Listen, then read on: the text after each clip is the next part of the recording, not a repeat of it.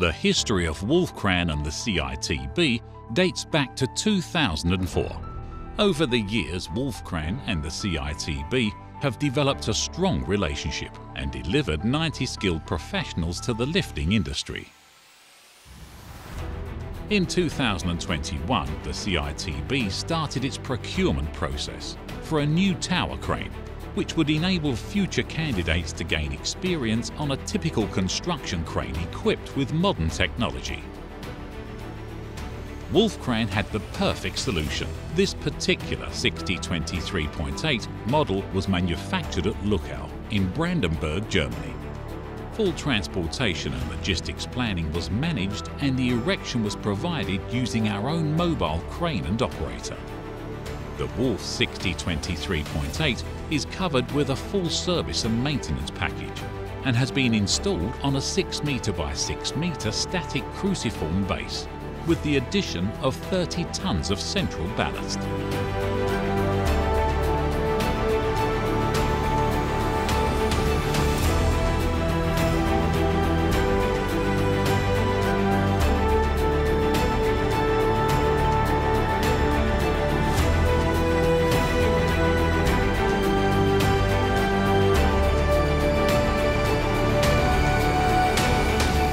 The tower structure stands at 31.5 metres, with a front jib length of 40 metres. Erector supervisor John Perchin talks about the crane erection and why he feels it's the perfect choice for the construction college. We are at the National Construction College and we're erecting a Wolffkran 6023 on a 6 metre counterweighted base. The crane stands at 31 metres high, can lift 8.5 tonnes to 25.8 metres and 5.2 tonnes at 40 metres. In my opinion, Wolffkran and this particular machine are brilliant for training as it's a very easy machine to learn on and operate and is very smooth from the start. I wish all the trainees who are going to use this machine the best in the future and hope Wolffkran helps. The best in ergonomic comfort is provided by Wolffkran in the operator cab.